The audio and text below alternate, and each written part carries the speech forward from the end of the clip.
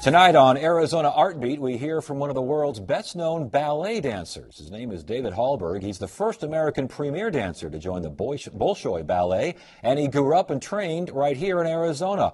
Hallberg has also established a scholarship to help more boys and young men pursue a career in ballet. I recently talked to David Hallberg about his scholarship, his career, and the bullying he faced when he studied ballet as a boy. David, thanks for joining us tonight on Arizona Horizon. Pleasure, pleasure to be here. Why start a scholarship for boys interested in ballet? You know, I was one of those boys when I was young who had the itch to dance, but didn't really have the direction or the guidance, didn't really know where to train. Um, and that's essentially what I'm trying to do, is bring awareness to uh, really good, strong classical ballet training.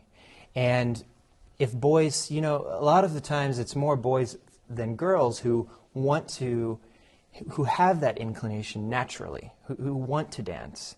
And I would want to bring that sort of awareness to boys and say, you know, at the School of Ballet Arizona, you can ha- get great training and financial help if you need that.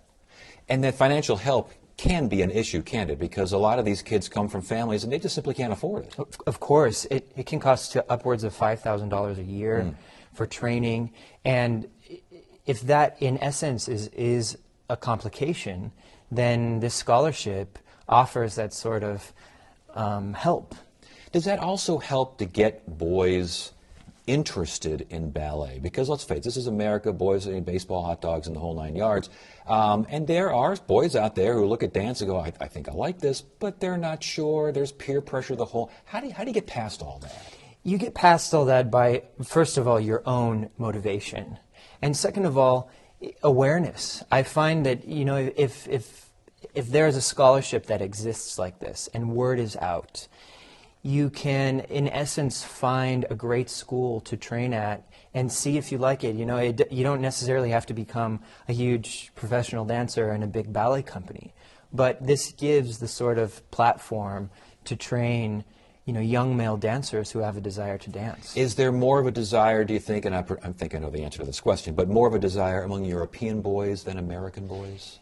There is, but again, there's more awareness. Mm. A lot of the really big schools in America, in Russia, sorry, in Europe and in Russia, they have help from the government. And in whatever country you're in, people know that if you want to dance ballet, you go to the Bolshoi school or you go to the Paris Opera School. But that doesn't really exist in America. So I'm trying to, you know, bring awareness to that, even in the Phoenix area. I grew up here. I know what it's like. And I know that there is a great school in the Phoenix area that can train male dancers very, very well. Let's talk about you. How did you get involved in ballet? When was the first time you said, I think I like this? When I saw Fred Astaire on TV. Interesting. In some sort of black and white, obscure movie. And it was my own doing. My parents didn't push me in ballet in essence, they didn't really know what to do after I, sh- you know, showed this interest in, in dance. But it's um, it's just become an absolute obsession and passion of mine. It grew and grew and grew from the age of eight. And you, t- I read somewhere where you, said you had a, the quote is a personal journey riddled with hardships. What's that all about? Well, you know, any sort of personal journey, you know, the sacrifices that I've made to become a professional dancer, it is riddled with hardships. But by that I mean, you know, I was seriously bullied when I was in school, uh, when I was a young teenager. Um, you know, the, the typical story of doing something different from your peers and being really shot down for it. How, and, again, that kind of comes back to getting boys interested in ballet. And again, the boys who might be interested, but they're afraid. They're afraid to be picked on. They're afraid to call names. How do you get past that? You get past that by your own motivation, and you get past that by you know really standing up for what you believe in. It's easier for me now that I'm older to to look back and say I wish I would have stood up for myself a bit more. But you get past that by really asking yourself what you love to do. And if what you love to do is dancing, then that's what you love to do. And you had an experience at uh, a lot of experience at Ballet Arizona, correct? That's where you really cut your teeth, huh? That's really where I started to train uh, really intensely. I had a great teacher there, and it really was the formation um, that that just propelled me into a professional career. A professional career, and you wound up being, uh, help me figure this out, the first American kind of big wig to join the, the Bolshoi, exactly. for goodness sakes? Yes, I'm uh, the first American premier, which the premier is the top spot at the Bolshoi Ballet. And so, in essence, I do all of the main roles. I'm, you know, the principal dancer, the star, or whatever word you want to use.